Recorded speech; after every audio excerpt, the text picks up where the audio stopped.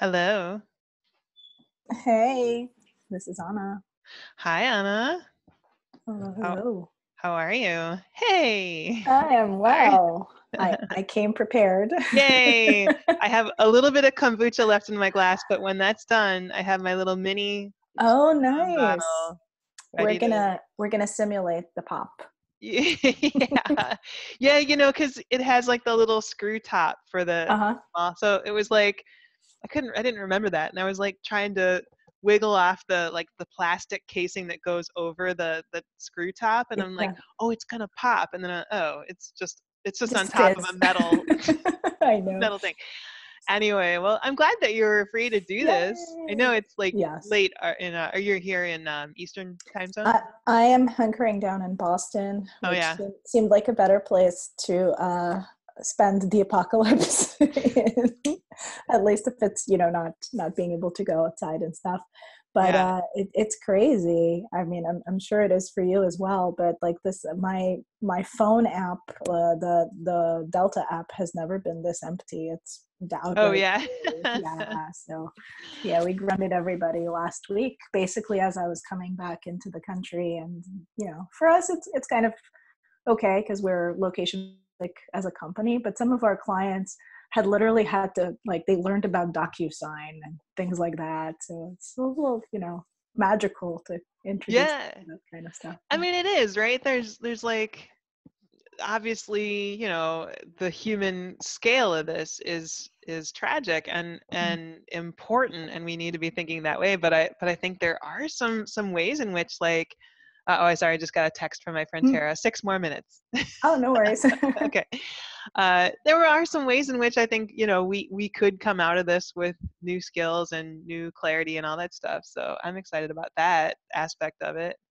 it's uh it, it's hard to kind of not get excited about the scale of the human experiment now because hmm you know we we so rarely experience something simultaneously anymore like Right. short of sports there really aren't that many events that everybody kind of tunes in for at the same time and this is in so many places it's more or less the same experience everybody's cooped up and everybody's dealing with similar challenges with the underlying threat of death and you know Yeah. despair Yeah. um, but I, I i'm i'm hopeful i think that you know when this is over we'll we'll come out of it um, having accelerated some conversations that would probably take forever otherwise um, Yeah. Yeah. Agreed. And it does seem like a lot of people are connecting the dots with the climate change conversation, yes which also it's like day three or four so maybe let's have this conversation again on like day 14 and see if we've gone loopy by then it's but uh, so funny because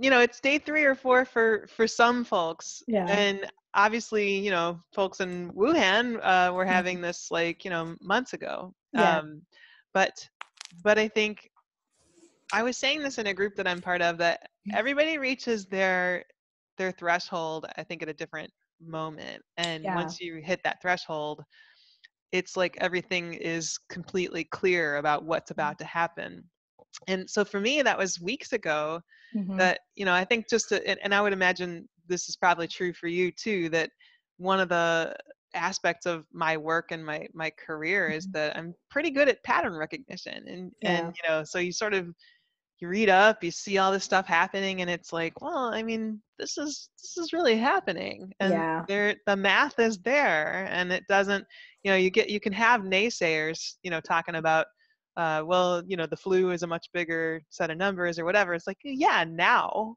Hmm but just wait.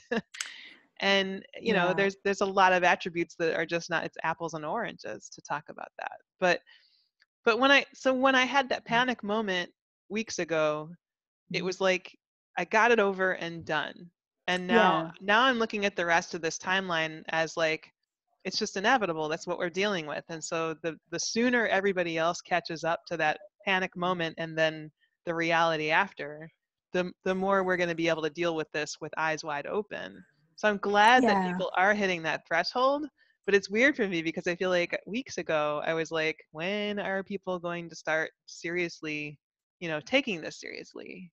I I think it's hard to spot if you you know don't have that international purview if you're not constantly in different places and, Yeah, and maybe. seeing how how different places normally work yeah. like you know knowing what it takes to you know close down wuhan i had a conversation with somebody who you know was uh, literally imagining wuhan to be like a small pastoral fishing village Mhm. and and that kind of blew my mind like wow we, we we're dealing with orders of magnitude difference in in you know understanding of what's really happening here right off the bat. And so i think a lot of it felt very in- at least initially felt like it was very far away and like not something that should necessarily concern you. And when you look at you know miles or a globe that seems to be the case but Mhm. it really ignores how interconnected we are for even the most basic things today Yeah. and so i think you know you and i by virtue of, of what we're working on daily are, are very much attuned into that interconnectedness so for us uh, patterns like that is easy to see but uh, for other people in other professional disciplines it might not necessarily be the case and and i Right. feel like i feel insanely privileged on the one hand side to to be able to have that kind of a somewhat of a calm reaction like yeah you know we maybe we we had a few weeks warning uh, Mhm. Mhm. but at the same time it's really frightening to see discrepancies in responses Mhm. and you know like my uh, my family my parents are in serbia where they declared um, essentially martial law so people over Mm. 65 cannot leave the house at all under threat of arrest and uh, you know and and they went and bought like two pounds of potatoes this was their planning so Wow. so Wow. there's a lot of stuff going on yeah. Yeah.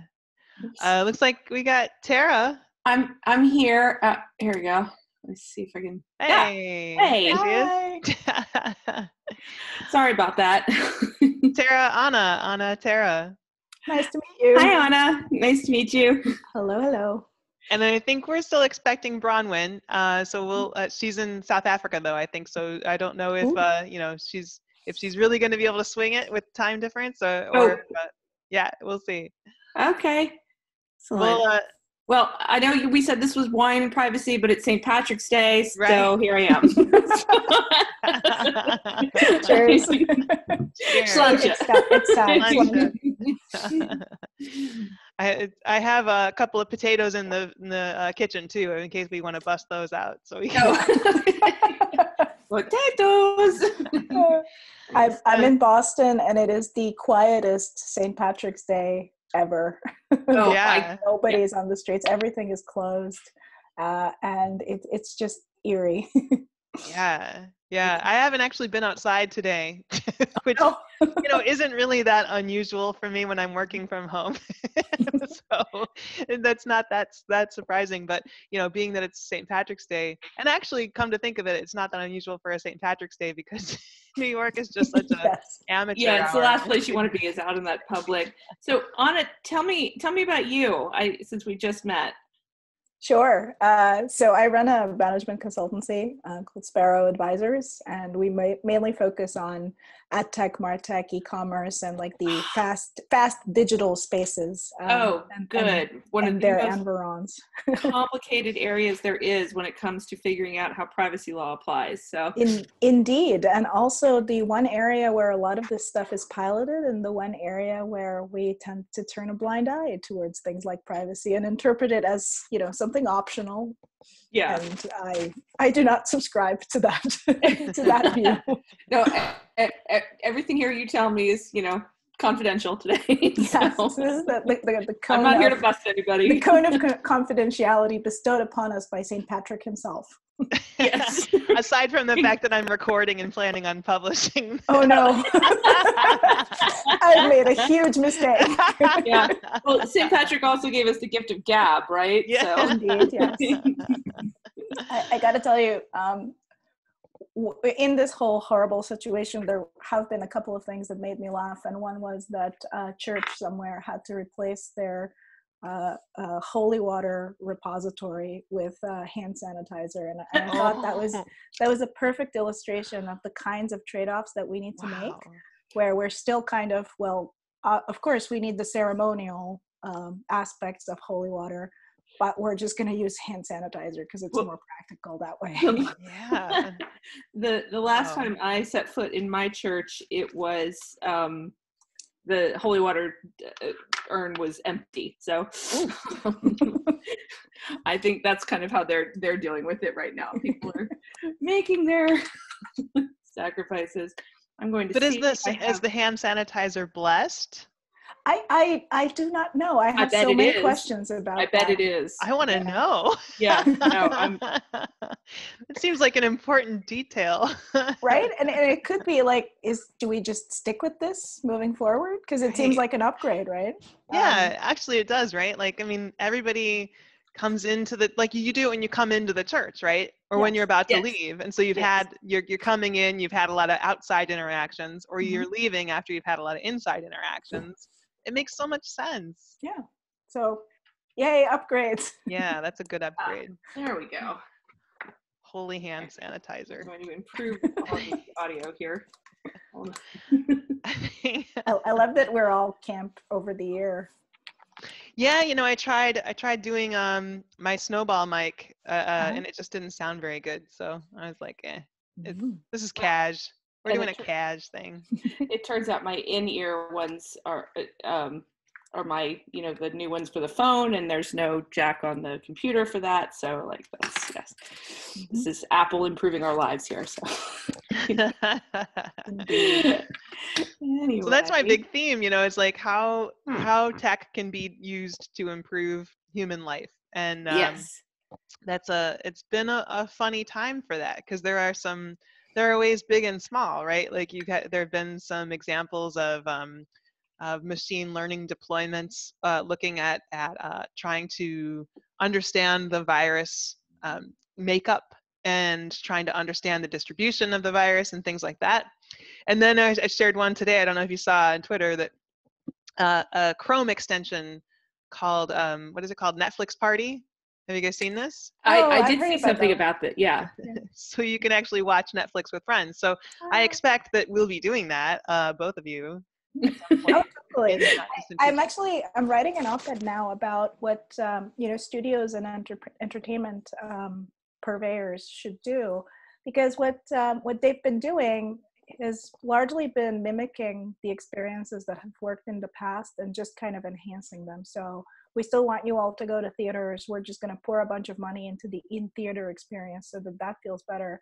Instead of thinking through you know if we were designing this experience today what would it look like and my my thesis is that if you were really designing a, an entertainment experience movie entertainment experience from scratch today it would look much more digital first and so you would do you know for large releases like james bond or mulan or or something like that you would do a controlled drip so here's a tickets that you vie to buy Mhm.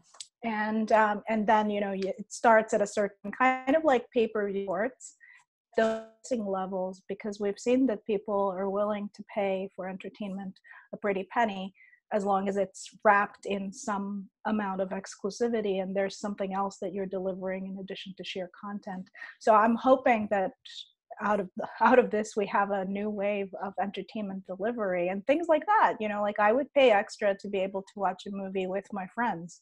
And my friends are not not necessarily in the same location so maybe we can you know buy a private screening or something like that. Oh, that's a great idea. um, and you know when you think about it like in new york two movie tickets and a popcorn that's like 50 60 bucks already. So we're, we're demonstrating and that's not counting in like childcare or other things for- Transportation. yeah. so so The dinner a- it's a- beforehand.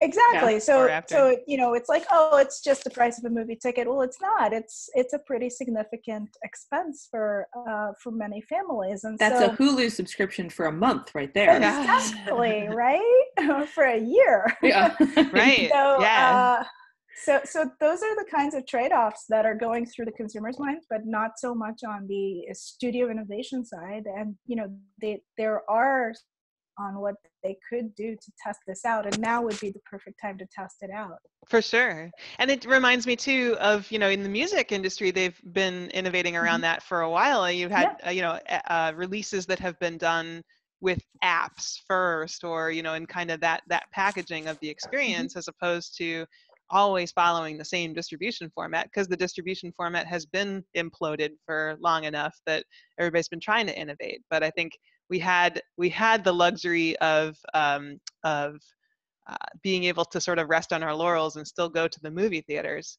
and maybe maybe this is uh, what it takes to force us to be innovative in that space so i look forward to reading that that'll be a really interesting op-ed I do too. I'm Um, going into keyboard cat mode and but, yeah, but uh, you know, if we're if we're talking about privacy today, then yes all of those things. I mean, you can go to the movie theater, you can pay cash, right? Um, you can pay cash. You can, you know, sort of be pretty anonymous. And you used to be able to go to a record store and buy a CD and be pretty anonymous. Now, when you download an app, you know, or or log into your Netflix account, you realize that there's a new cost to what it is that you're and and which which may be okay for the convenience um, as long as we understand you know what's being done with that information and we're okay with what's being done with that information yeah So, good it- pivot to privacy. Yay! No if if um if music if the music biz conference happens in seven and a half weeks which i highly doubt um, i'm supposed to be on a panel about uh, how record labels and artists um, can sh- should be able to get access to the data that spotify is collecting and then what they should do with it. And i'm there to sort of burst everybody's bubble and make everybody hate me but um, yeah what- so it's all a trade-off. What this What- era has really shown is that you can't be like a mom and pop shop when it comes to big data. Like if Mhm. i'm a you know this is why platforms like patreon and uh, spotify and google and everything else like they they gain orders of magnitude power from the more data that they can process and connect. And so, so as much as i would like to kind of own my own data footprint it takes a lot of knowledge and understanding and a lot of effort to actually turn it into something useful. So I think that's one of the, the biggest barriers, not just to the you practical use of data, but really to consumers understanding what the underlying value of the data set is. Because for any given consumer, taken on their own, the value monetarily isn't that high. But in aggregate, it becomes immense. And so I think that's really hard to process and so these small trade offs seem very small. Like, yeah, of course you can access my location. Who cares? I'm getting extra utility from your app, etc. But as you give up more data, it compounds, and you you don't really you you seize understanding the individual trade offs completely, even when you're you know thinking about this more than than most other people are. yeah and what I what I find really interesting about your space, Ana, is that I- I've had a few clients who are who are ad tech companies, and the Mhm. big question has been, so like all these new privacy laws are saying, well, you have to tell, you have to give consumers notice about what you're collecting them about them and why you're using it. But that only really seems to apply to the consumer facing businesses. Mhm. And ad tech companies are often five or six companies back in the stream of commerce with this Yeah. data and, and who and you know you hear about these data breaches that happen with companies that we have never heard of Mhm. much less knew that they had our data and so i don't think that the that the legislation as um, as powerful of a tool as it can be against companies like facebook for example um, is going to do a whole lot for consumers understanding or for um, you know even creating the obligation for companies to give that information to consumers when they're that far back in the chain. And so i don't know how mean we can we can stop facebook from selling our information although at this point for most of us the cat's well and truly out of the bag. Um, you know maybe it will matter like for the next generation. Um, but that's that's been like the the most frustrating point for me. Um, and i think um, like kate your I, I think that there's a lot that that you could be doing and i'm not telling you how to run you know how to like organize your your life goals or anything but um i got you a pretty clear the- calendar for the next Yeah. couple of months so. seriously no but i mean with you know with what you've what you've done in the space of sort of technology generally, um, that idea of of the the data mass that's been created and how that can be used in a way that's not so scary and mm-hmm. you know more beneficial and um, more for consumers. I yeah, there's a lot to be said there.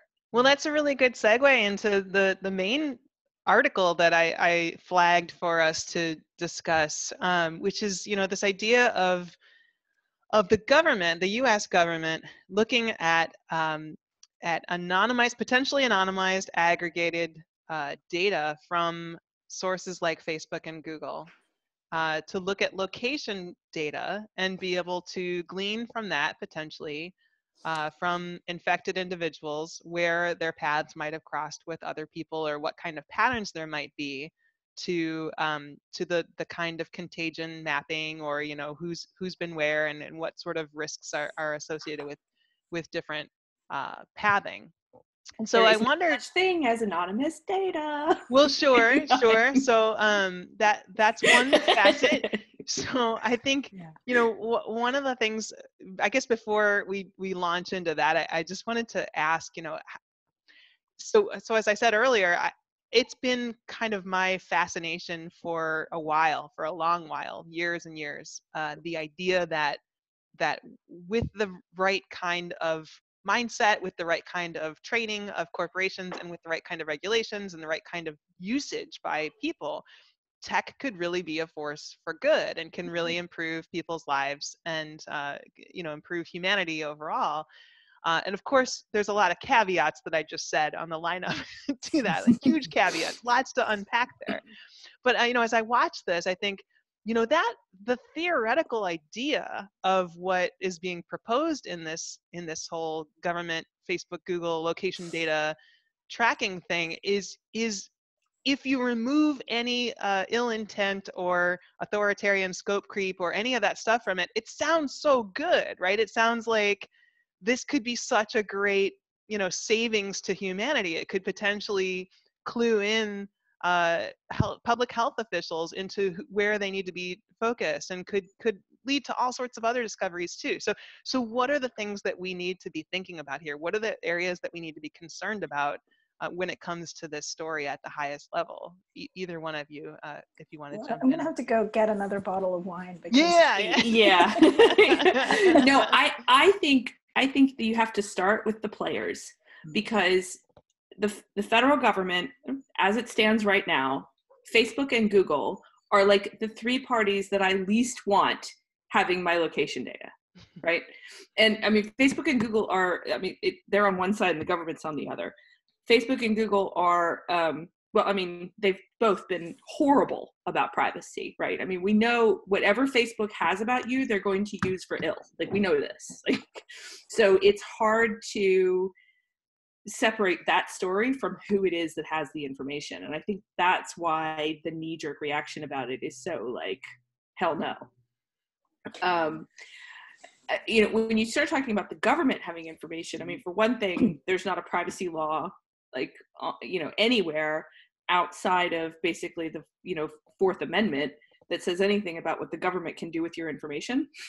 So um you know none of the like gdpr doesn't apply to the government obviously the ccpa like no federal law that you know if it actually comes into existence is going to apply to the government itself. Um, so we would need to hear i mean in order i think to get comfort around it we would need to know that the information is being used for that purpose and only for that purpose and that it's going to be somehow destroyed you know after that mm-hmm. time and that there's not going to be the government's not going to suddenly turn that information over to the FBI and start letting them you know ha- have a pattern already established for a particular you know IP address about where it's been and who its associates are so well, the, the government might not uh, you know need that access because they can buy that from a commercial third party data provider which is exactly what they've been I definitely am going to need more beer. Yeah. Both. Uh-huh. Yeah. I was going to say this is we should have gone to hard liquor right away. I figured we could always escalate.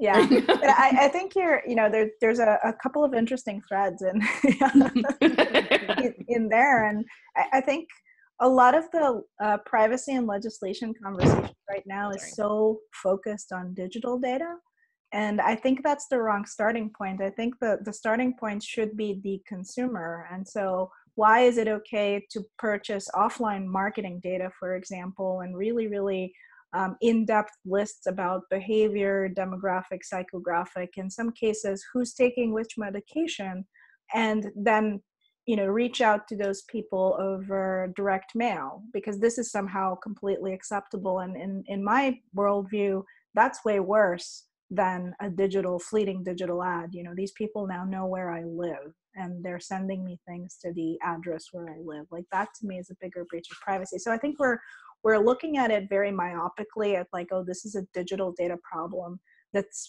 almost originating with these three large platforms that are leading most of our conversations. And I, I would like to pull that back uh, a few decades to when we really started transacting with data without giving consumers the right to say no thank you um, it's insanely hard if uh, at all possible to opt out of credit monitoring in the united states and those are the first companies that i would like to have nothing to do with Mm-hmm. um, as, as, a, as a consumer um, or at least have very tight control under which somebody can access my credit report uh, to the point where you know i want to establish some sort of monetary payment thing. Like if you want to look at my spending report you can donate 50 bucks to a charity of my choice and this is all automated through some magical platform that so far only exists in my head.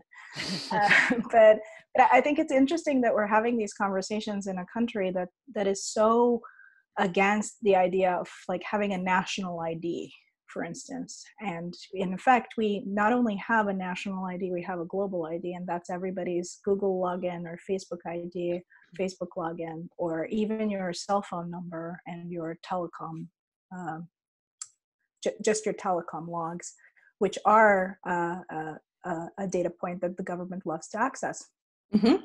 So, so it's a case where tech has outpaced uh, certainly the public conversation, definitely any regulatory activity, but really so far outpaced what consumers even think is possible that I think that a lot of these conversations that we're having now, especially on the ad tech side, when I raise things like, look, you go to some website because you've Googled some strange illness because you heard about it on, you know, on a program or somebody in your family has been diagnosed with it, etc. And somebody puts you in a segment that says likely to have so and so condition or disease. And there's nothing you can do to remove yourself from that segment. And that segment, two, three years from now, can be purchased by a health insurer or a life insurance company without your knowledge and be fed into their black box algorithm to decide what type of coverage they give to you. And again, none of this is visible to you or to anyone else. There's no audit trail. There's no, it's just here's the price that we decided for your coverage, or here's sorry, we can't grant you coverage. Good luck with somebody else. And so it's a very one sided conversation.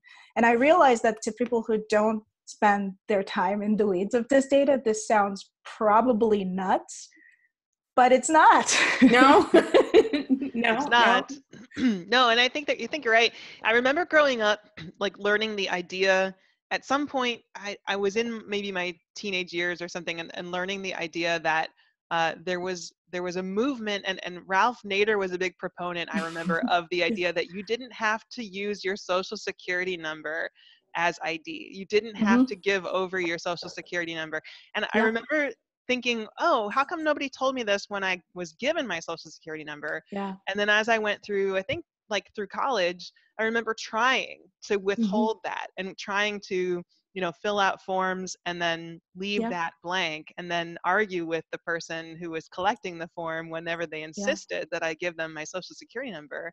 And like Yeah. kind of it, it ending up being fruitless because, you know, there's just too much bureaucracy. It was too set in place and not enough people understood Yeah. that that was supposed to be something that you could withhold and here we are i think Yeah. ana you explained it so beautifully like there's there's this whole infrastructure that has completely sidestepped the issue of whether you want that information to be collected it just is and and Yeah. if you participate in any contemporary way in what what the the modern conveniences of of life you know especially now as we're all confined to the internet Yes. you know we're we're moving about in ways that yeah Can, can I make a quick point though about about the social security numbers, which it Mhm. just um, so I'm reading a book right now by a Vanderbilt professor named Sarah Igo um, called The Known Citizen, and she traces sort of all of the um, debates that have gone on in essentially human history about privacy,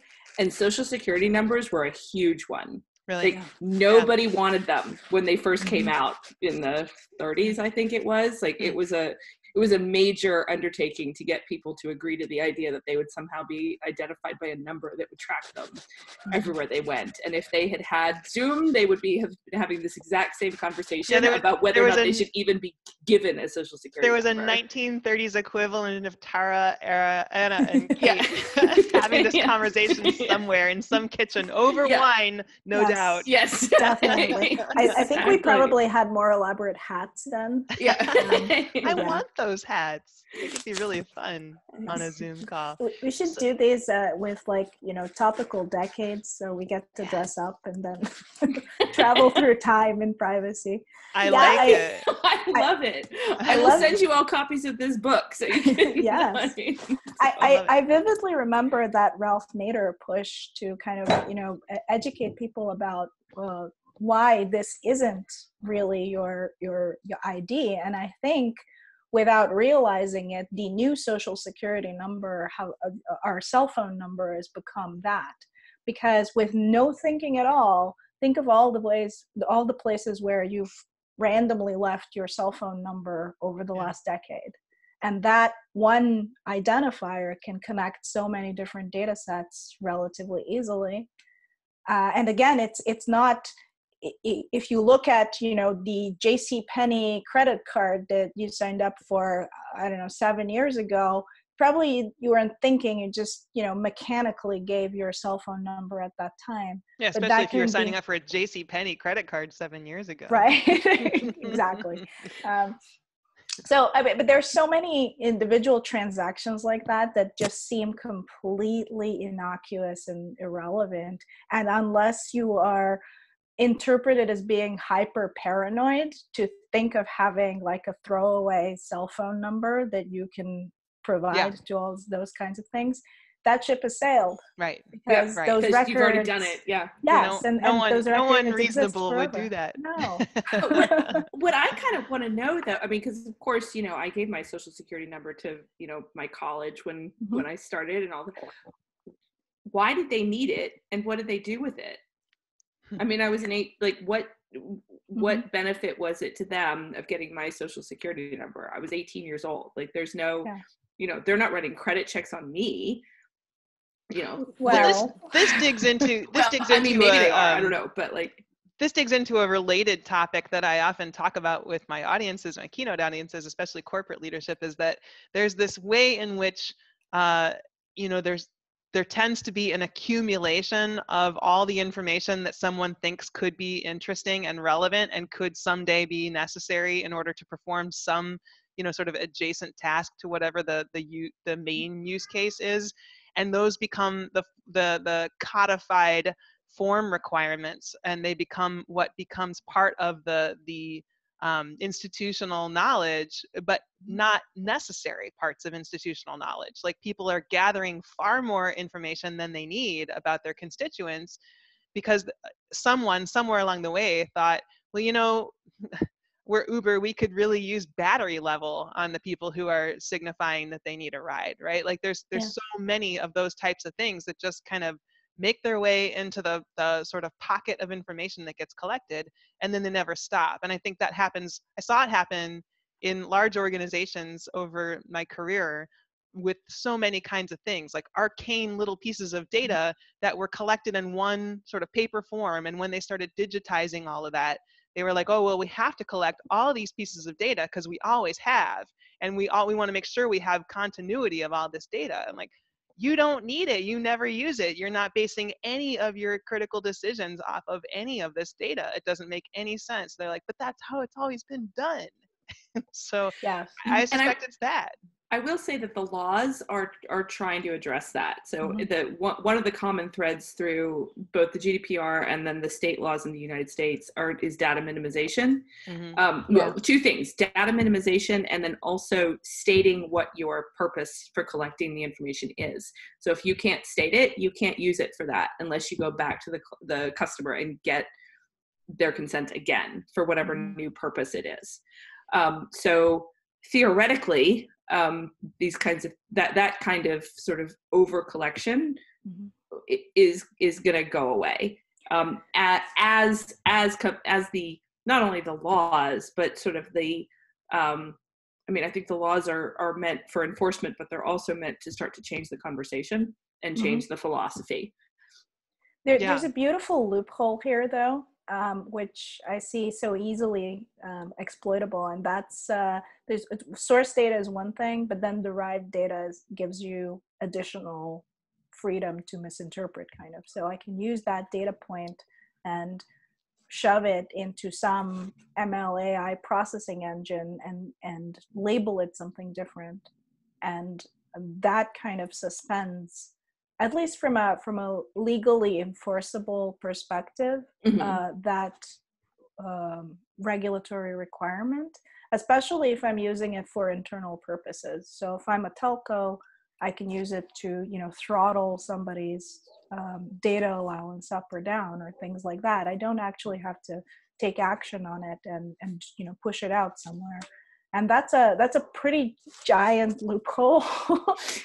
And i think it has to do with again the the pace of technology definitely outpacing the regulatory uh, environment but really outpacing what uh, users uh, perceive here as, uh, as as as being relevant to them or potentially you know something that they may object to if they understood better.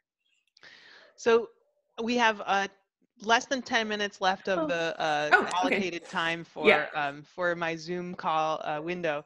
And, so I wanna everyone in the world is using Zoom right now, so we will. yeah, yes. so I want to I want to come back to um, this issue of the the location data and the Mhm. government's use of it for what potentially could be public health considerations. So is there a safe way or a good way for this kind of transaction to happen in in either of your views? Is there a, a way that you um, if you were being called upon to advise the government in this moment, would advise them to proceed so that they could use some kind of data that might inform some kind of public health overview and and and what what would that be in, in the to the best of your ability to to capture it So I- I'm going to go. Oh, okay, I, I'm going to go first ahead. because I think my answer is going to be Yeah. shorter because you're the bigger thinker between the two of us. So, um, I mean, uh, as the privacy lawyer, as sort of like the compliance person, right? Um, I would tell I would tell the government that they um, they they can do this um, if they make it clear to the consumers what it is that they're doing. Um, and if you know some sort of a notice shows up on the phones that are being tracked and why they're being tracked, and if they you know assure that the data is being used for that purpose. Um, and I'm not saying that it has to work necessarily in order to bring coronavirus down, but that they're using it for the purpose that they tell people that they're using it for, and that they get rid of it when they're done with it Mhm. when the crisis is over. That's what I would tell them to do. Yeah I don't Lovely. believe they're going to do any of those things, but that's what I would tell them to do. And- Your and turn, I- Ana. I, I, I agree. I think the, the question is which government, because if it's the United States government, I would say the level of trust that should be placed, not just in the current government, but in general, is very low. But we have seen very good implementations of this, in, uh, for example, in Singapore and in South Korea, where it's very clear what is being collected, for how long, how it's going to be used, and that the primary and really only use case for this information is for public health uh, reasons. And it's worked really well. So, you know, for something like that, where there is a, a clear mandate and, you know, responsible people are in charge of implementing it, I think this is a, a beautiful, easy solution that can really save lives and accelerate finding people who are truly at risk and who you know might not be aware that they need to just you know lock themselves up for a couple of weeks so that other people aren't affected even if they personally aren't suffering. But i, I don't it's one of those things that i think is very uh, precarious to even try to implement in the united states which is why as excited as i am about the possibility of the you know digital data being used in this way to prevent a pandemic i place zero trust in the powers that be here to actually use it and deploy it in a responsible way and in a way that doesn't ultimately somehow damage the consumer who may be walking into this with the same kind of well if it's for public health of course i'll i'll use this or i'll volunteer this information. And it's that degree of trust that I think is key here, and it's key for consumers to understand who they're fine to have their data and who they don't trust with their data, and that's really what we don't have as an option today. Yeah, because I, I would also tell. I'm oh, sorry. I would also tell the government that they to make sure that they keep their partners accountable. So mm-hmm. Google doesn't get to run off and do you know create a, a health database with it, yeah. and Facebook yeah so that it, everyone who has touched it and has had access to it needs to delete that access and destroy their information at the end of of the project yeah and, and i think what both of you have said is so right on and i think one of the only other things that occurs to me is is um, you know we're in a mo- we're in a moment in time where the realities uh, are dawning upon people you know hour by hour and day by day and so every bit of this is subject to change so rapidly and so I, I guess i'm i'm concerned that what seems necessary now and and what what seems like a reasonable boundary to put upon what's necessary is not going to seem reasonable in a week when you know things are well beyond where they are and uh, it, it seems like that's justification for overreaching what we agreed were were the limits then. So we're talking about mm. within what's been proposed so far, there's this third of a mile limit to the data and how it would be, you know, in terms of its um, anonymization and aggregation. And, and I think that sounds very, very reasonable if all you're looking for patterns are, are, are patterns of who was in, you know, Houston uh, then and is in New York now, like I was a few weeks ago. Um, but but if you're if you then a week from now are saying we're so far past that point that we need to break this down further, and now that we have this data connection already, you know, why don't we just go ahead and, and dig a little deeper because that will tell us yeah. everything we need to know. That that's the that's one of the fears I have. So I think somehow being able to lock in place some with some uh, certainty the the regulation and the scope in the scope of that and protections uh, for for people to to protect everything that you two articulated so beautifully. That that I think is important. You bring up a really good point um, that you know if this thing goes completely haywire in a week, we may not want the government to tell us no we can't do that because privacy right? We might want to say take all of my information yeah. just save me right? I mean tell me which one or worse yet tell me which one of my neighbors has it. Like that you know there there may be a point where the where the consumers at large are so desperate for information that privacy goes out the window. And i've had this conversation with friends of mine who've cared for sick relatives and people who were homebound somewhere else and they talk about how like they don't want to hear anything about you know the privacy concerns about the um, the ring camera system for example mm. because it helped them take care of their relatives and no you know in a situation like that nobody cares about privacy and i don't think that's unreasonable mm-hmm. Mm-hmm. Um, so yeah this is all about you know sort of gauging where consumers are and um, right now that's going to go up and down you know like crazy so yeah it, it, it's not the the use at time of crisis it's the what happens after and mm-hmm. every precedent exactly. we've seen during our lifetimes and possibly not possibly definitely earlier has once you move that border it doesn't come back so right. there's no yeah. okay we've suffered a terrible crisis terrorist attack etc we we got this now let's move back things to a reasonable place that yeah. never happens. That's right. So I, I, think this is what we're looking at now and why you know the three of us and many other people are raising this flag now is because we see that pattern. We know what's going to happen if that border gets pushed that there's no bringing it back and there's no putting the genie back in the proverbial bottle. And I, I think that's the biggest concern for for everybody here. And the reason why we'll probably be labeled as being a little bit paranoid until everybody kind of realizes What about the virus? yeah exactly it's like oh Yeah. wait a minute i don't Yeah. like this world help yeah. well Yeah. Well, should we let Kate wrap it up since we're down to less than a minute? Yeah, we're down to less than a minute, and I just want to thank you three, uh, uh, the three of us, you two, for being here. Uh, I'm had enough to drink that now I'm miscounting. There it seems like there's three of us, and there. I know. I didn't even get through a whole beer. Like we got to drink faster I'm- next I'm, time. I'm doing well yeah well, thank you very much, and thanks to everybody. You know, once this is shared, I, I want to uh, appreciate everyone who's uh, watching and thinking about these issues, perhaps for uh, at new levels that you've never really considered. And and thank you to Tara, thank you to Ana. Um, and uh, Thanks, I think we'll thank you, and I think we'll do more of these. And I appreciate you two being uh, willing to be guinea pigs on on our first go round here. So cheers. Cheers. cheers Here's to the here's to human overcoming of whatever faces us. yay Yay to that. All right. Bye, everybody. bye Bye.